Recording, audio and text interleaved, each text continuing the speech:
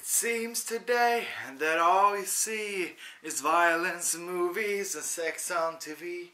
But where are those good old fashioned values on which we used to rely? Lucky there's a family guy. Lucky there's a man who positively can do all the things that make us laugh and cry. He's a family guy. Badum bum. Eller nåt. Hej allihopa, mitt namn är Antonio och idag är det fredag den 6 februari. Jag är bara så glad över att det är äntligen helg.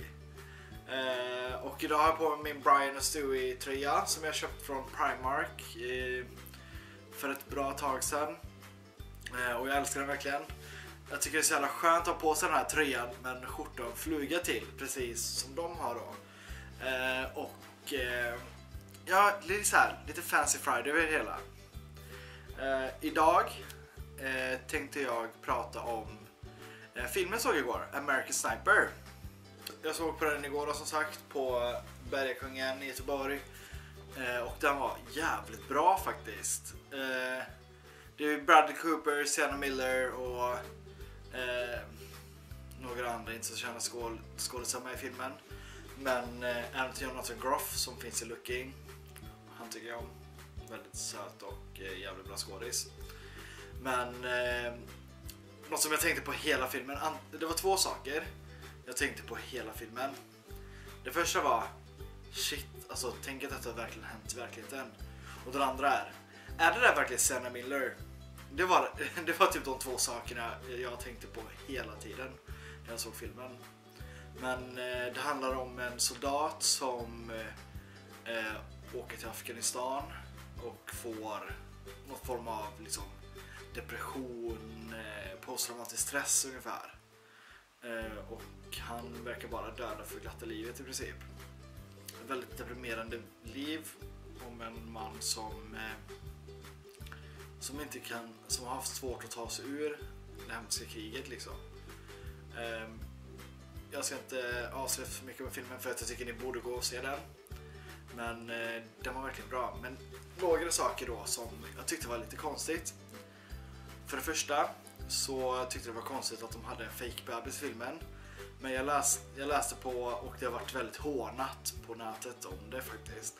Men jag läste på nätet om att eh, regissören då, eh, Clint Eastwood, har sagt att eh, första bebisen blev sjuk och den andra bebisen dök aldrig upp då som skulle vara den bebisen i filmen.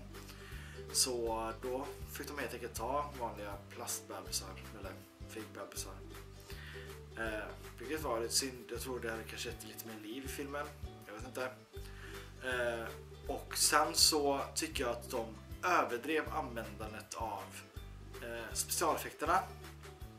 Det var många gånger som man såg liksom överblicksvy av staden och det var ju liksom som att se en animerad film oftast. Och sen liksom det här slutskottet som jag kanske inte ska avslöja men i alla fall.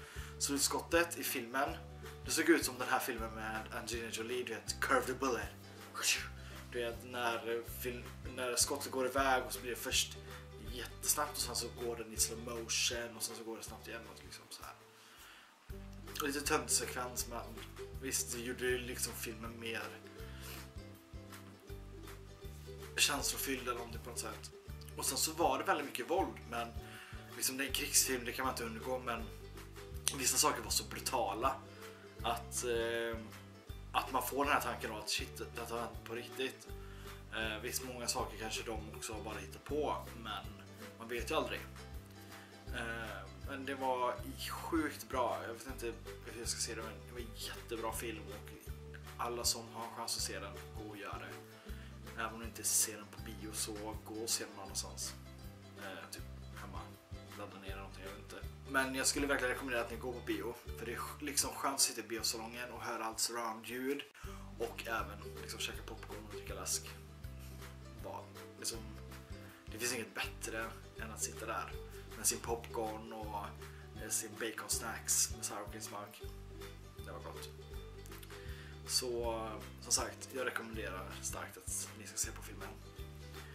Ehm, ja, annars i övrigt så jag vet inte vad, ska, vad som ska hända ikväll helt enkelt.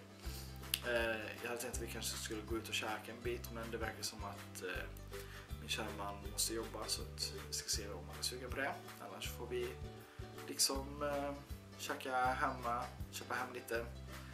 Eh, jag har ju liksom allt infyllt på pizza online, vad heter det? Online pizza. Så det kan vi bara liksom klicka i och skicka iväg. Så det går ju fort. Eh, men, eh, men kanske, kanske gå ut på restaurang. och se. Se hur humöret är. Jag vill i alla fall dricka lite vitt vin. Fuck. Jag har glömt att köpa vitt vin. Och jag får typ gå och köpa det nu om jag vill ha det. Gud vad irriterande. Ja, så jag måste typ dra nu så att jag hinner köpa vin. Vi ses imorgon. Bye!